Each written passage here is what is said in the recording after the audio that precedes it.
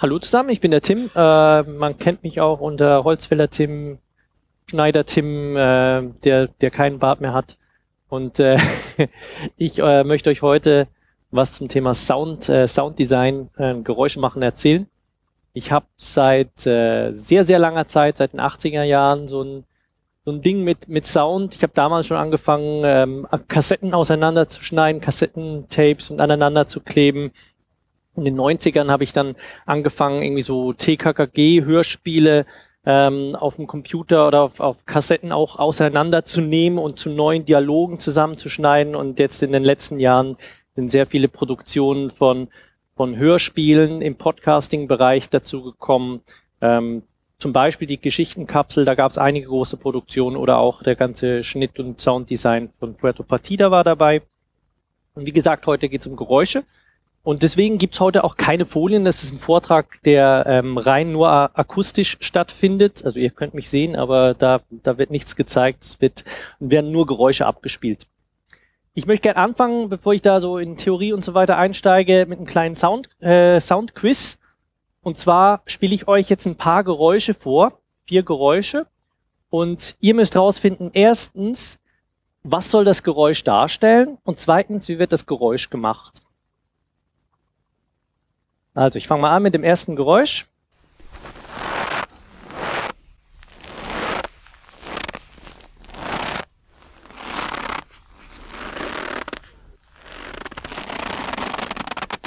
Müsst ihr euch ein bisschen leiser noch vorstellen.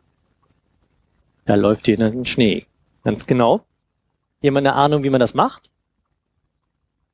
Bitte? Was kneten? Luftballon? Ja, also es ist, ähm, man, man nimmt einen, einen Stoffsack und füllt darin Maisstärke und knetet den, den so. Also da muss ein bisschen Luft rein sein. Ähm, Luftballon, es, es gibt extrem viele Geräusche, die man mit Luftballons auch machen kann, aber das ist jetzt keins davon. Gut, nächstes Geräusch.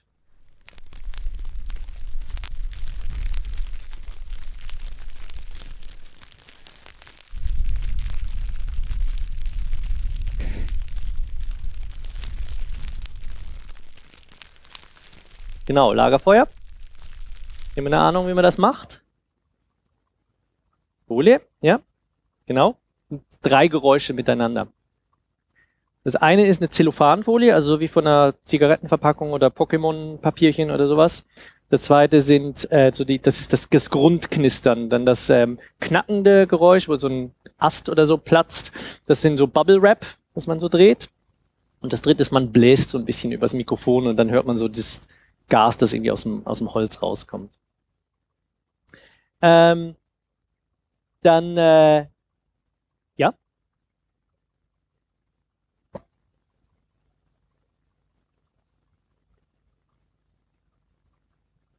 Mhm. Ist natürlich so, heutzutage, also ich meine, das kommt aus der alten Kunst der Geräuschemacherei und da musste man halt, da konnte man schlecht ab Band abspielen und da musste man dann eben live, da gab's Geräuschemacher, die standen dann neben den Schauspielern im Radiostudio und die mussten dann diese Geräusche dort vormachen. Mittlerweile kommen solche Geräusche typischerweise vom, vom Band, aber es ist halt trotzdem noch so ein Handwerk, das man immer noch so machen kann. Bitte?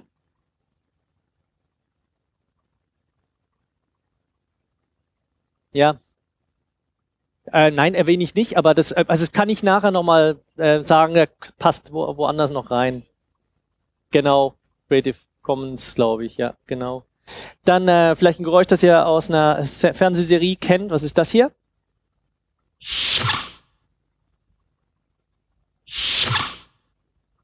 Mhm. Weiß jemand aus welcher Serie?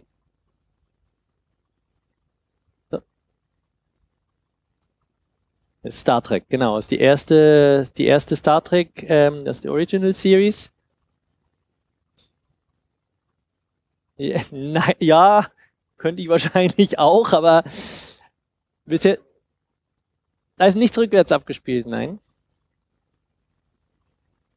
Ähm, also es soll eine Tür ähm, darstellen, ja. Wisst ihr, wie es gemacht ist? Blatt Papier, das so über den Tisch gefahren wird, mit einem sehr nahen Mikrofon dran und ein Schuh, der quietscht auf einer Oberfläche. Mach das nochmal. Also ist ja, und dann gibt's auch noch so ein bisschen geisterhafte Geräusche wie das hier.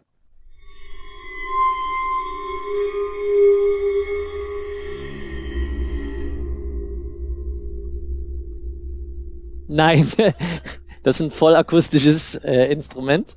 Bisher habt ihr das auch schon mal gehört irgendwo? Hm? Könnte sein, dass das, ich habe den, den Begriff kenne ich jetzt nicht, das ist ein, ein Waterphone.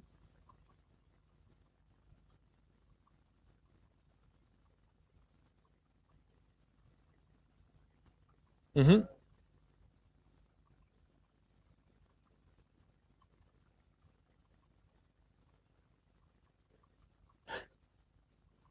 Das, ist, könnte, das könnte was ähnliches sein.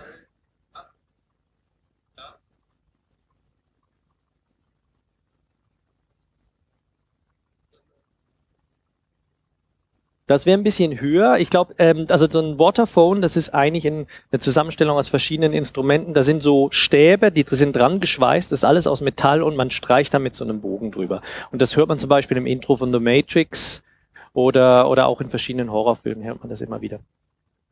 Ich habe mir überlegt, was bringe ich euch mit und anstatt dass ich hier euch irgendwas zusammenschneide, wie, wie so Geräusche dann halt im praktischen zusammenstellen, ähm, habe ich mir überlegt, vielleicht bringe ich euch lieber so die Erkenntnisse mit, die ich in den letzten Jahren gelernt habe, indem ich Geräusche zusammengeschnitten oder selbst aufgenommen habe.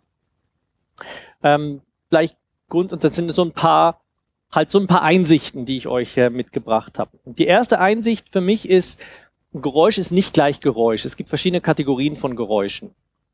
Ähm, so drei, drei Hauptarten unterscheidet man. Das erste, das, die ersten sind die sogenannten Action Sounds. Das sind Geräusche, die wendet man dort an, wo das Geräusch eine Handlung oder ein, äh, ein Ereignis symbolisieren soll. Also beispielsweise eine Tür, die sich öffnet oder ein bisschen dramatischer irgendwas, das explodiert. Oder vielleicht mehr so aus dem humoristischen. Irgendwas, das halt davon äh, huscht oder so, typischerweise in Cartoons. Und das ist so eine Slide Whistle. Ich weiß nicht, wie das auf Deutsch heißt. So eine Pfeife, die man rauszieht. Genau. Das, äh, die zweite Art von Geräuschen, das sind Foleys. Das ist benannt nach Jack Foley. Das ist ein berühmter Geräuschemacher aus den 30er und 40ern. Und ähm, der hat zwar viele andere Geräusche auch gemacht, aber Foley sind die Geräusche, die man nicht aktiv wirklich hört oder die, denen man zuhört. Die symbolisieren auch nicht direkt was, sondern die unterstützen die Gesamtatmosphäre in einem ähm, in einer Szene. Ähm, und die müsste man nicht unbedingt dazu nehmen, aber sie unterstützen halt die, den Realismus. Zum Beispiel Schritte, bisschen leiser, das hört man fast, also wenn man sich nicht drauf konzentriert, fast nie. Das ist sehr laut. Äh, ähm, das Geräusch von Kleidern, die entweder angezogen werden oder die auch einfach irgendwie huschen oder so. Müsst ihr mal drauf achten in Filmen. Oder halt alles, was mit, äh, mit äh, Besteck oder so so zu tun hat, das, was das hingeworfen wird. Das sind Foley-Geräusche. Und das dritte sind Atmosphären, Atmo oder Ambience. Ähm, da ist es die sind oft so subtil, dass man sie auch gar nicht unbedingt mitbekommt, wie zum Beispiel ein Raumgeräusch. Hier ist ein bisschen ein Raumgeräusch, das man, das man jetzt hört. Könnt ihr erkennen, was das ist?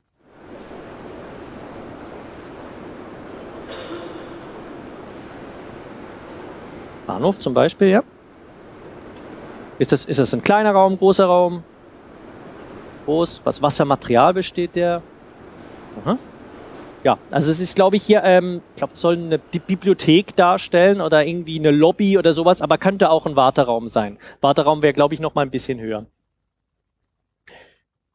Oder natürlich sowas. Ja, genau. Das ist der Dschungel aus der vierten Staffel von Puerto Partida. Oder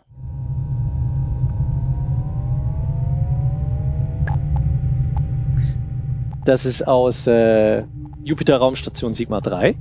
Äh, in der Geschichtenkapselproduktion. Das ist so der Wissenschaftsraum in einem Raumschiff. Ähm, das ist einerseits so ein tief, tiefes ähm, Rumpeln von, von, von Triebwerken, also so ein, so ein ähm, nennt man, wie nennt man das nochmal? Ähm, hat mir jetzt gerade der, der Begriff entfallen.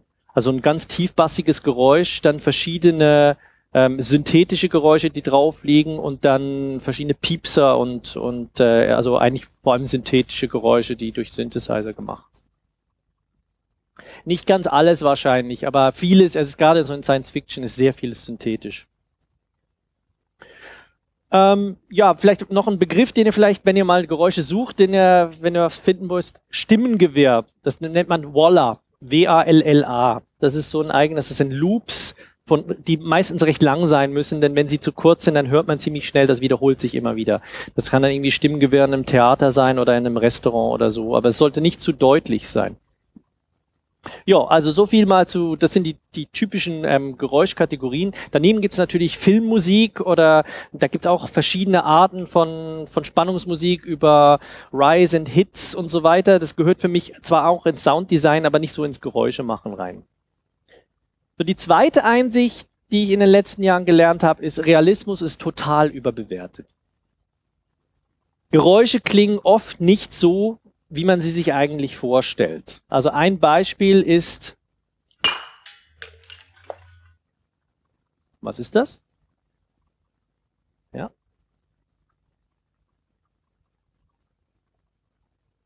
Jetzt ein realistisches Geräusch und jetzt, ja, und jetzt spiele ich euch mal vor, was es darstellen soll.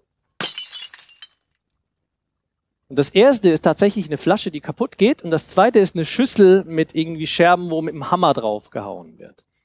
Und ähm, das ist so ein, ein, ein typisches Beispiel für das Geräusche klingen oft nicht so, wie, wie, wie sie eigentlich, wie man sie sich vorstellt. Auch Helikoptergeräusche zum Beispiel, die sind viel leiser, als man eigentlich meint. Das vor allem die kleineren Helikopter oder ähm, gibt, gibt eine ganze Reihe von anderen. Das andere auch, ähm, das passiert auch in Dialogabmischung, also wenn es darum geht, Hall einzumischen. Wenn man, ich nehme hier eine, eine Dialogsequenz aus einem Hörspiel aus Engel der Verlorenen. Ähm, wenn man die, die spielt in einem Treppenhaus und äh, wenn man die wirklich in einem Treppenhaus so abspielen würde, würde die so klingen. Bleiben Sie stehen,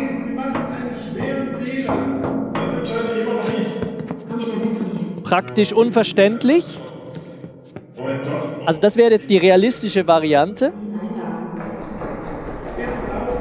Wenn man es aber abmischt, dass es verständlich wird, dann nimmt man den ganzen Hall ein bisschen zurück und mischt dann viel mehr von einem trockenen Signal rein.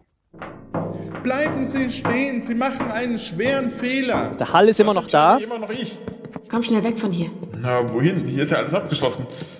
So, also es ist viel wichtiger, dass man das Geräusch versteht, dass man die, die Erwartung des, äh, der, der Hörenden abholt und, äh, und ihm diese Geräusche reinbringt. Außer man möchte halt irgendwie verwirren oder, ähm, oder, oder was Neues reinbringen.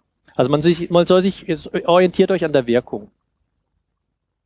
Dann die dritte Einsicht für mich ist, Glaubwürdigkeit geschieht vor allem sehr leise. Also es geht oft nicht um die großen lauten Geräusche, sondern um die kleinen, leisen, atmosphärischen oder Foley-Geräusche, die die, ähm, die die Szene unterstützen. Man versteht zwar die Handlung, wenn, nicht, wenn die äh, nicht da sind, aber so der Realismus, der entsteht wirklich in diesen kleinen, feinen Details, die man unten dran mischt. Ähm, also es gibt dann durch, durch diese Geräusche, die man da zutut, entstehen Anhaltspunkte, die man unterbewusst dann wahrnimmt, weil dann entsteht eigentlich so ein Muster im Kopf. Also man kann sich dann relativ schnell vorstellen, wo, wo sind wir denn jetzt hier eigentlich und was soll das Ganze ähm, bedeuten. Ich habe ja ähm, ein Beispiel mitgebracht, ich hoffe, man, man hört das hier, das ist nur Text.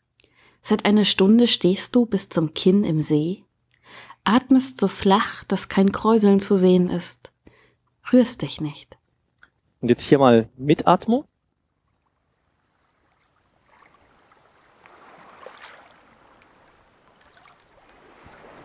Seit einer Stunde stehst du bis zum Kinn im See, atmest so flach, dass kein Kräuseln zu sehen ist, rührst dich nicht. Libellen und Mücken schwirren vorüber. Die aufdringlicheren verscheuchst du mit einem Blinzeln, unerwartet ob deiner Reglosigkeit. Also es macht sehr viel aus. Ich weiß nicht, ob das angekommen ist bei euch, aber gerade auch mit Kopfhörern. Genau, das war im, im Wasser, genau, mit der Kati. die man heute hör, mehrmals hört. ähm, es gibt auch biologische ähm, Effekte von Geräuschen, gerade bei Geräuschen, die sehr tief sind, zum Teil sogar im also unterhalb des, des hörbaren Bereichs, also ganz, ganz tiefe Bässe oder auch sehr, sehr hohe ähm, Geräusche, dissonante Geräusche, komische Rhythmen, die, ähm, die äh, also zum, zum Teil Angst auslösen können oder einfach ein ungutes Gefühl. Und äh, gerade im Horrorbereich ist das sehr weit verbreitet. Ich, ich habe hier mal was zusammengemischt, ähm, wo einerseits tiefe und hohe Geräusche drin vorkommen.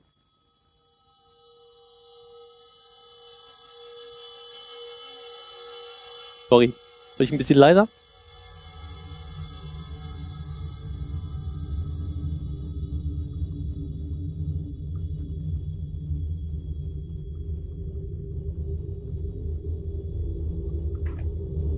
Das eigentlich ist, das eine ist so ein metallisches Kratzen, Kreischen, das andere ist halt mehr so ein Erdbebengeräusch.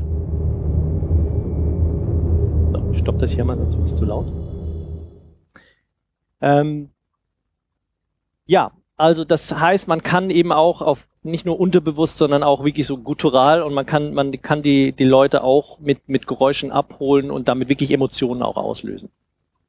Ähm, Vierte Einsicht, manche Geräusche sind wie Symbole oder wie Emojis.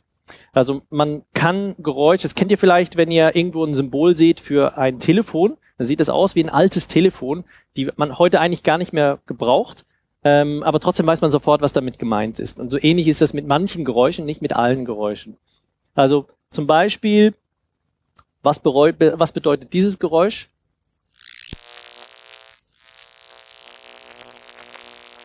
Genau. Strom, Elektrizität.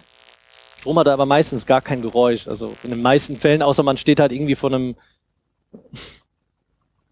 ja, Lichtbogen und ein bisschen Tetraspule ist, glaube ich, auch noch drin irgendwo. Und das zweite? Projektor, genau. Bedeutet, irgendwas Altes wird abgespielt, äh, irgendwas Historisches oder so. Oder Agent Weber ist schon wieder verloren gegangen. Und der Einsatz von solchen Emoji-Geräuschen oder von, von, äh, von, solchen, von solchen Geräuschen schafft Abkürzungen. Und das hilft den Hörenden sehr schnell, sich reinzufinden und zu verstehen, was da damit gemeint ist. Das kann helfen, aber es kann auch sehr schnell klischeehaft wirken. Also ähm, kann zum Beispiel eben, wenn man die, die traurige Posaune, die ist so verbraucht, das kann man eigentlich nur noch ironisch einsetzen. Ja, das ist eine Posaune.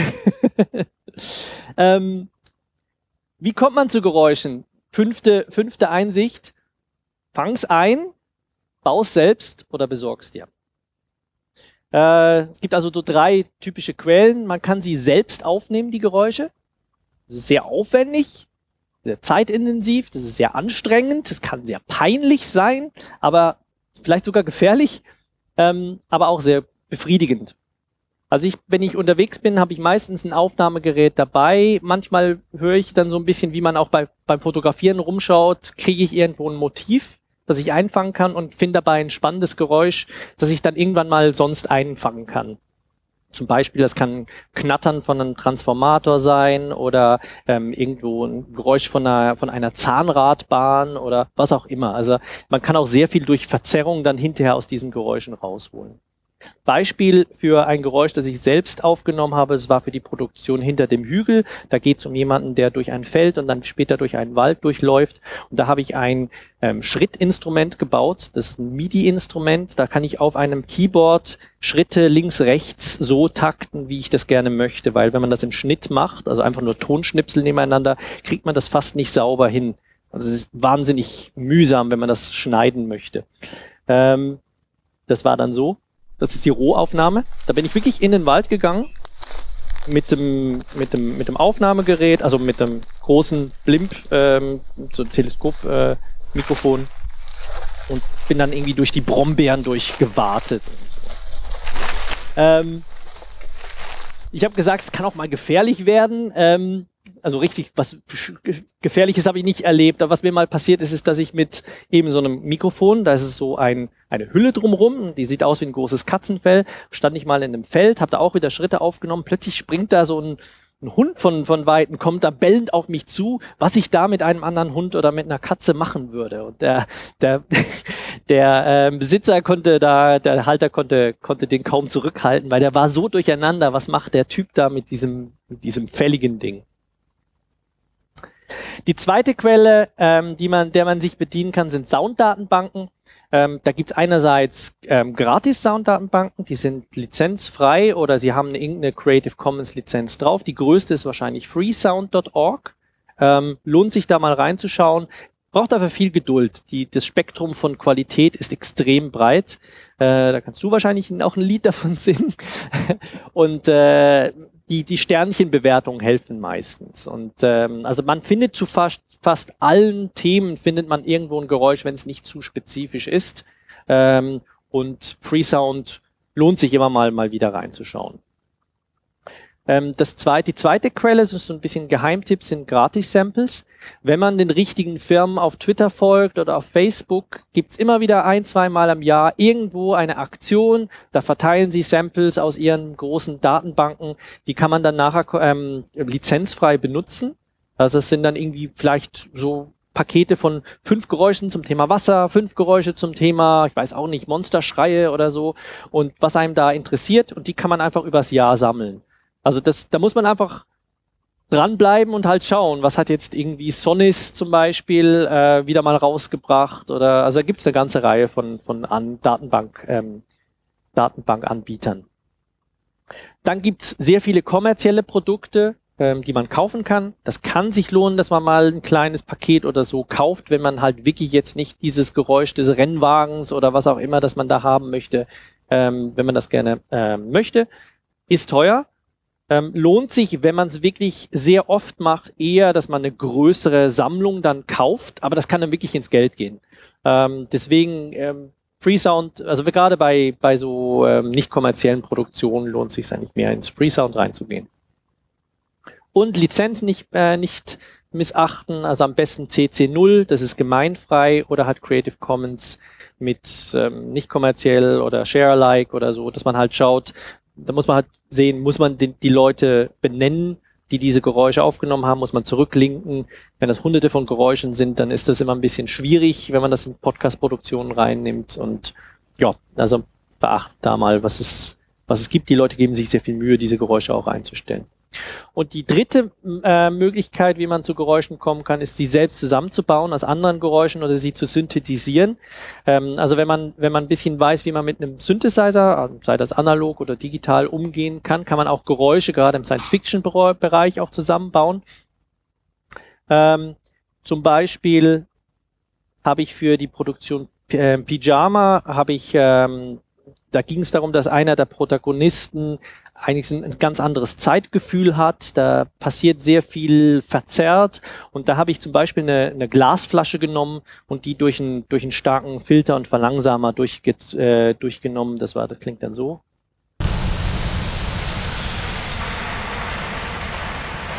Und sehr viel Hall draufgelegt. Und das gibt dann so eine Soundscape, die dann, äh, die man, die ich dann angesetzt habe. Die Aufnahme habe ich, äh, das war eine Freesound-Aufnahme, die ich dann durch, ähm, was war das? Äh, weiß nicht mehr, das ist ein, ein Native Instruments äh, VST, wo man diese Verzerrungen vornehmen kann. Die Außenaufnahmen, die mache ich mit einem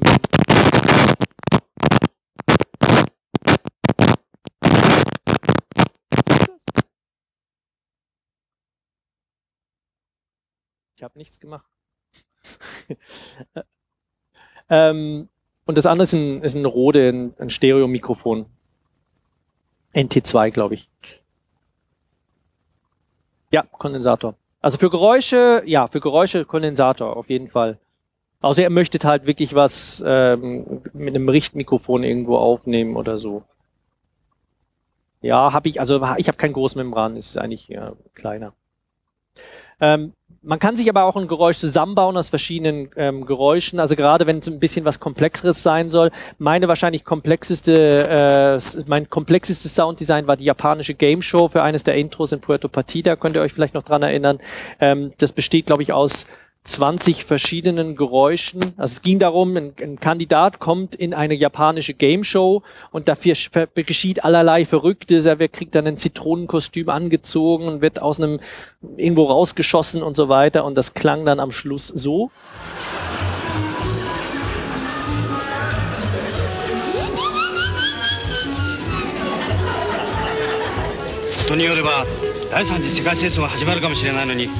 Oh, das ist ja irgendein alter Godzilla-Film, den ich da auseinandergeschnitten habe, wo irgendwie so Daten miteinander sprechen. Ähm, ja, hat mich zwei Abende gekostet.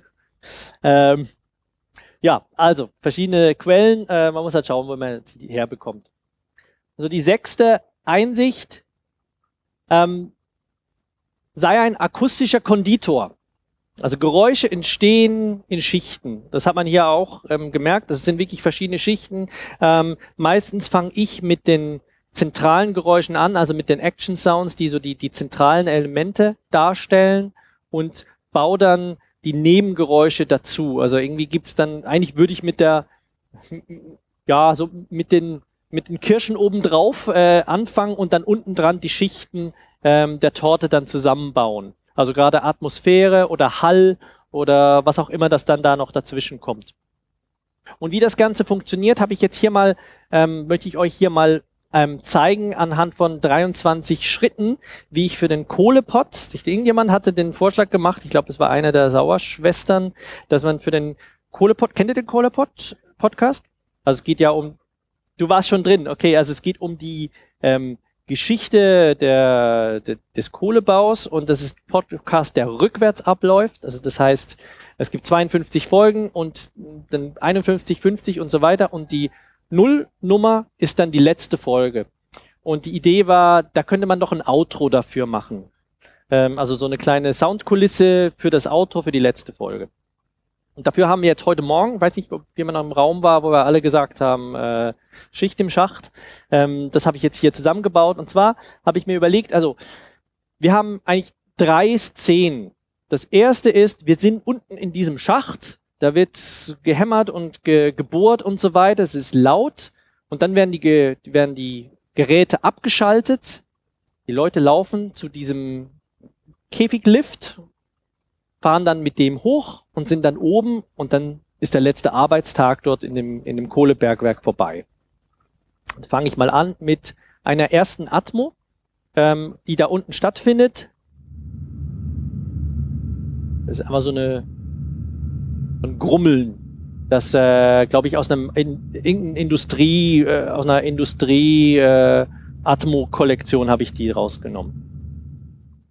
Da habe ich dann eine zweite Atmo drüber gelegt immer noch die erste und die zweite ist jetzt oben drauf. Das ist jetzt eher so aus einer Produktions, aus einem Produktionsbetrieb. Also da passiert ziemlich viel, da sind ziemlich viele Leute, man irgendwelche Signale, die dann da drauf sind. Und noch eine dritte. Weiß nicht, ob man jetzt die dritte gut hört. Das hat jedenfalls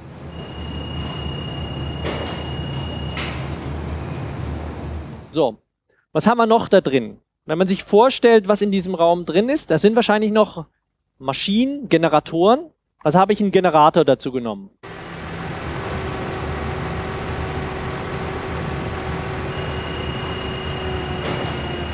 Dann haben wir einen Hammer. Irgendjemand hämmert da.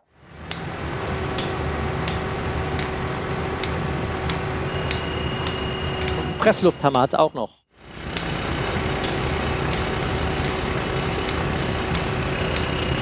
Dann werden die ganzen Geräte dann irgendwie hingelegt und es bleibt eigentlich nur noch die Grundatmo übrig. Hier noch was. Und dann laufen die Leute rüber zum Lift.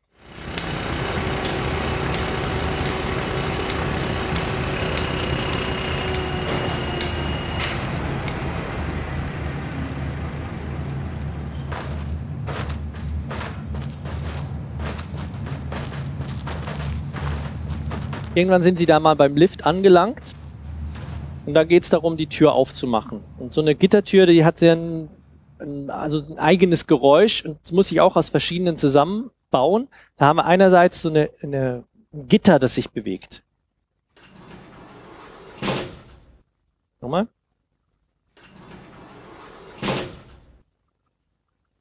Und dann haben wir noch eine Gitter und ein zweites Türgeräusch, so eine Industrietür. Also damit wäre die Tür mal offen. Jetzt haben wir die Geräusche, also die Schritte.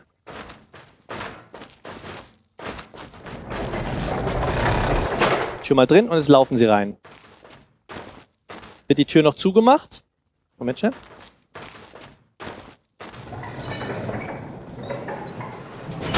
Jetzt sind sie drin.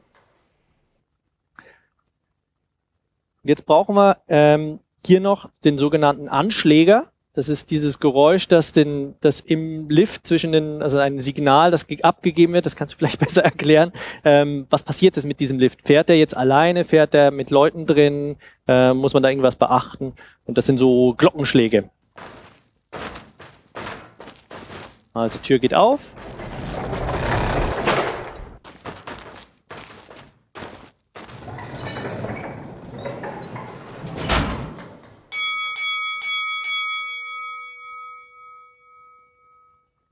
Und das Ganze ist jetzt also so mal.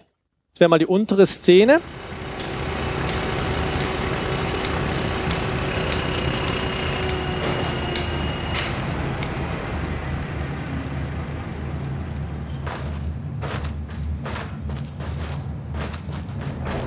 Also da ist jetzt die Atmo drunter, die war vorher nicht da.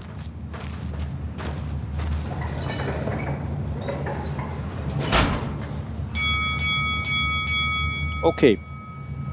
Was jetzt noch fehlt, ist ähm, der, der Hall. Also eigentlich die ganzen Schritte und so weiter, sie sind, die klingen viel zu trocken. Also man, man fühlt nicht wirklich, dass man da in einem Tunnel oder so drin ist. Jetzt habe ich das hier mal mit, mit Hall ähm, aufbereitet, ohne die Atmo dahinter. Ich höre dir den, das Hämmern ein bisschen mehr Hall.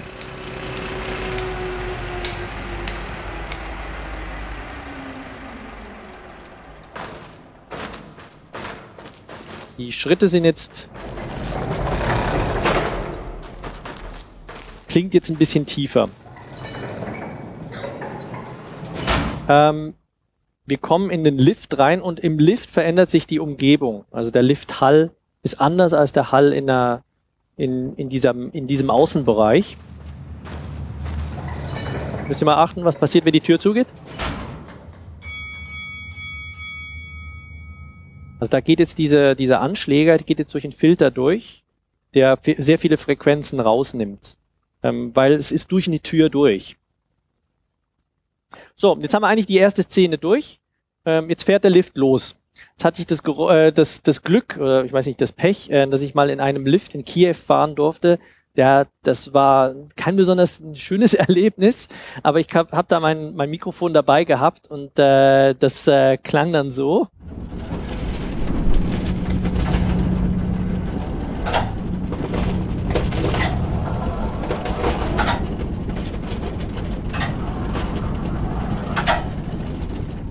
Ich merke jetzt gerade, da habe ich noch was zu, dazu gemischt, aber es klang sehr ähnlich. Also das ist ähm, das, das, der Kiew-Lift und noch zwei Rattergeräusche. Aber das, genau, das war der Originale.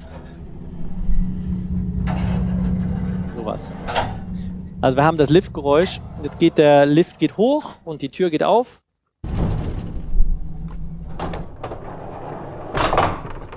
Tür geht oben auf. Brauchen noch ein bisschen Gittergeräusch. Und ein paar Schritte.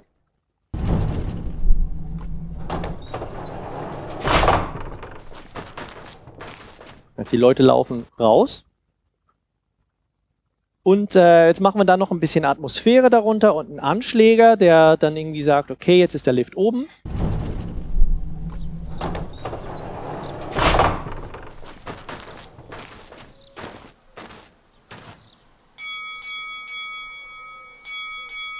Ich habe das nachgeschaut, da muss man irgendwie dreimal anschlagen. Irgendwie Ost-Westdeutschland war das unterschiedlich. Ähm und dann haben wir da die Aufnahme von heute Morgen. Jetzt sind wir fast durch. Hey, Kumpel, jetzt ist aber endgültig Schicht im Schacht! Das ist die Aufnahme, die wir heute Morgen gemacht haben. Und jetzt führen wir das alles noch zusammen und dann haben wir unser Outro für den Kohlepot gemacht.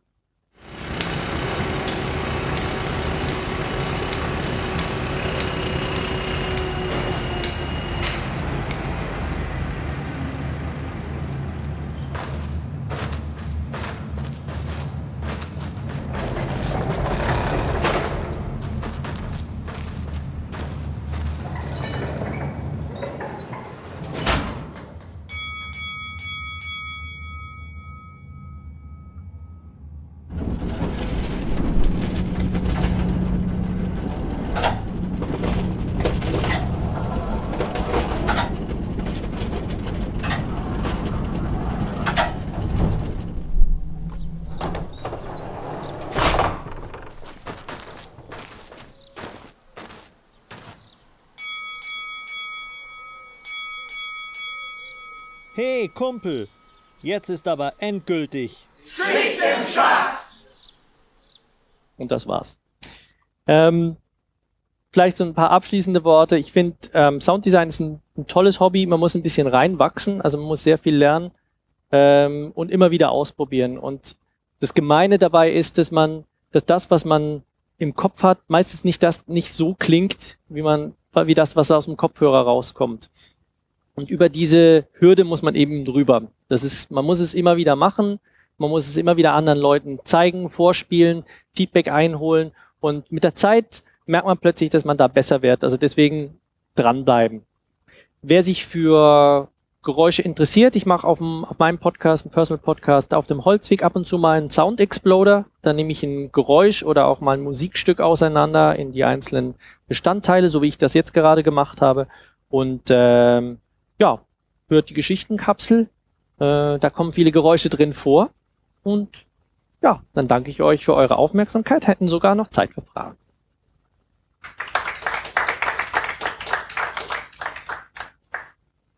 Ja? Ah ja. Ähm, welches nehme ich? Das Orange. Ist aber nicht an.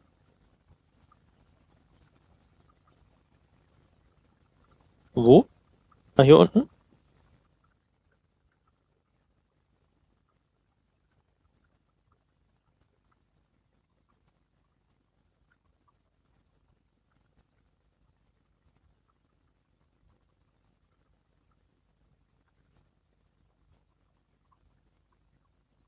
Ah, da unten, warte mal, hier unten. Ja, ist gut. Test, Test. Ja. Meine Frage ist, wie, ähm, es gibt ja eine Kluft dazwischen oder eine, einen Unterschied dazwischen, wie wir selber Geräusche hören, so wie sie in, in echt sind, Mhm. und dann, wie wir sie in einem Hörspiel nachbauen können. Ja. Was ist deine Erfahrung, wie groß dieser Unterschied sein darf, bis es ähm, sich überhaupt nicht mehr authentisch anfühlt, also anhört?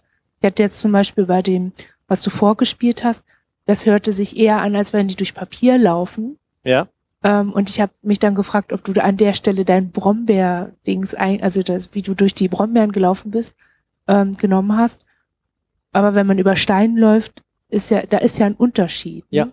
Also wie, ich frage ist so ein bisschen, wie, wie viel kann man verschmerzen? Wie, also, weißt du, was ich meine? Ja, ich, ich glaube, ich weiß, was du meinst. Also äh, gerade wenn man so in Kinderproduktionen reinhört äh, oder auch ein bisschen billigere Produktionen, die haben meistens gar keine Atmo. Die haben meistens einfach nur so ein, zwei Geräusche, die Katze, die miaut oder irgendwas, das runterfällt oder so. Und trotzdem funktioniert es irgendwie. Man merkt es halt, wenn man genauer hinhört, man ist eigentlich nicht in dem Raum drin, sondern es ist einfach nur irgendwie ein bisschen illustriert, also so skizzenhaft. Ich glaube, ähm, wenn man die, wenn man die Atmo und den Raumhall richtig hinbekommt, dann ist schon sehr, sehr viel getan.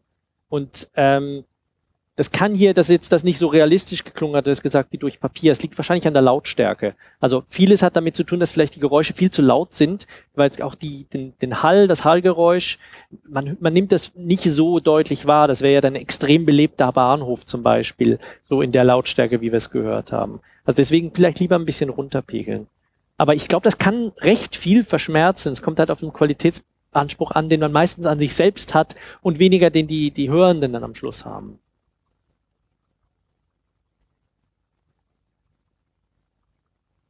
Ähm, also wenn ich, äh, wenn ich so Sounddesigns mache und so eine Geschichte erzähle, habe ich da das Problem, Also ich höre Podcasts meist mit dem Handy. Also und zwar nicht äh, Kopfhörer, sondern einfach so lege ich auf den Küchentisch und dann, während ich abwasche oder so, Mhm. stelle ich es laut. Ähm, der Sound, der da rauskommt, ist natürlich nicht besonders toll, Mhm. aber er ist vor allen Dingen auch ganz anders als das, was ich auf dem Lautsprecher höre, auf dem guten, und nochmal ganz anders, als wenn ich es auf dem Kopfhörer höre. Ja. Umgekehrt, wenn ich jetzt eine Folge von meinem Adventspodcast Befana mache, dann schneide ich das immer erst mit Kopfhörer. Mhm. Das hört sich super an, dann irgendwann, und ich denke, mir, geil. Und dann höre ich es irgendwie auf dem Lautsprecher vom PC oder dann vielleicht auch sogar so vom auf dem Smartphone. Und es ist alles totaler Mischmasch, total verwaschen. Und man denkt so, nichts von dem, wo ich mir so viel Mühe gemacht habe, kommt noch rüber. Und dann merke ich, ich muss fürs Handy viel mit viel groberem Holz schnitzen. Mhm. Da muss man also so richtig und dann werden aus sieben Ebenen, merke ich so, fünf merkt man gar nicht so. Und ich frage mich, worauf soll ich denn optimieren? Weil wenn ich das dann gemacht habe, dann hört es sich wiederum mit Kopfhörern total schrottig an und man Mhm. denkt so, "Ugh, worauf optim optimierst du denn? Also was sozusagen, was ist der goldene Mittelweg, wie du deinen Sound optimierst? Ja, ich op also ich optimiere, ich schneide mit mit Kopfhörern. Also ich habe jetzt nicht irgendwie äh, Monitoring über äh, über Lautsprecher und ich, ich versuche, dass es dass es im Kopfhörer gut klingt. Ähm, ich mache jetzt nicht irgendwie, ich gehe nicht noch ähm, und höre mir das Ganze noch übers Handy an. Ich glaube, für Puerto Partida habe ich das ab und zu mal gemacht, weil ähm, da ist das Publikum ein bisschen, vielleicht noch ein bisschen diverser. Das hört man vielleicht nicht in so einem ruhigen, in so einer ruhigen Umgebung wie vielleicht ein Hörspiel. Ähm, aber ich glaube, worauf man achten muss, ist, dass auf dem Handy einfach die Bässe einfach weg sind. Und dann wird's dann sehr, sehr verwaschen. Also das heißt, wenn man halt irgendwie wirklich was mit, mit tiefer Atmung oder so macht, das kannst du vergessen auf dem Handy. Das funktioniert gar nicht. Und ich glaube, so mein, mein Pegel wäre wahrscheinlich, wie hört sich das in einem Auto an? Also das ist, äh, da haben wir ein bisschen Bass. Ähm, wir haben so ein bisschen komischen, dumpfen Ton, aber äh, so, das wäre für mich das, wenn ich wirklich die Zeit hätte, das für alle, für, für, ähm, für alle Kanäle zu optimieren, dann würde ich wahrscheinlich auf ein Auto Innenraum optimieren. Dort gibt's ja, ja genau, da gibt's auch, glaube ich, ganze Plugins, die, die dir helfen, wie klingt was und wo fallen welche Frequenzen weg. Habe ich allerdings noch nie verwendet.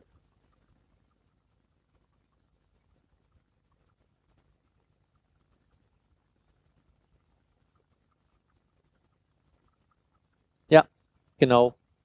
Weil da hast du natürlich noch ein viel größeres Frequenzspektrum. Also das, äh, du hast ja vor allem den hörbaren, ähm, also Sprach, den Sprachbereich, ähm, den in, in Hörspielen hast und dann ab und zu mal noch ein bisschen was aus, aus der Geräuschecke. Und gerade eben die Bässe sind dann halt eben das Problem. Ich habe mal ein, Ach. ein Problem gehabt oder etwas erlebt, was mich ganz doll erstaunt hat. Und zwar war ich im Petersdom zu einer Kardinalsweihe oben auf der Galerie. Mhm. Mehr oder weniger zufällig. Ich hatte eine Kamera mit Mikrofon dabei und habe das aufgenommen. Und der Petersdom ist als Gebäude so groß, dass der Schall eine halbe Sekunde braucht, bis er dich erreicht hat. Mhm. Nachdem die irgendwas gemacht haben, eine Glocke geschlagen oder äh, angefangen zu singen oder so. Du siehst die Leute da im Chor singen und hörst nichts, ne? Mhm. Ähm, und später habe ich versucht, das so übereinander zu bringen, in, indem ich äh, Bild und Ton getrennt habe. Und das ist nur Murks geworden. Mhm. Also das habe ich überhaupt nicht realistisch hinbekommen. Mhm. Und äh, im Moment, ich wohne an einem Bahnhof mit 13 Gleisen. Da ist äh, sehr viel Überholverkehr äh, durch die Züge. Die, die, da fahren Züge langsam durch den Bahnhof. Ist weg. Ist jetzt wieder da? Ja. Ja. Ähm, und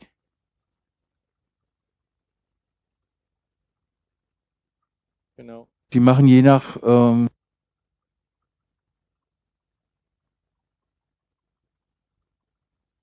Ja.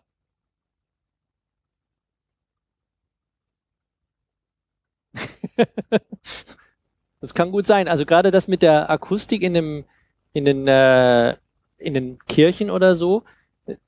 Ja, das erinnert mich halt dran, Live-Folgen zu schneiden ist der absolute Horror. Das ist, äh, das ist so schwer. Mhm. Da hast du irgendwie 15 Spuren. Ich weiß nicht, dass ich die, die CCC-Folge von Puerto Partita damals geschnitten habe. Ähm, da hat man irgendwie die, die, die, die Reaktion der, des Publikums. Man hat die Geräusche, die eingespielt werden, die vielleicht zum falschen Zeitpunkt eingespielt werden. Und dann versucht man das zu verschieben und alles ist dann irgendwie am falschen Platz. Also Live-Folgen zu schneiden, möchte ich niemanden wünschen. Das ist echt, das ist echt schwer. Bauen Ähm, ist wahrscheinlich viel einfacher, ne? Also alles, alles neu aufbauen ist Ja, wahrscheinlich sicher, viel einfacher. Klar, aber Mhm. dann hast du halt die Live-Atmosphäre. Ja. Genau.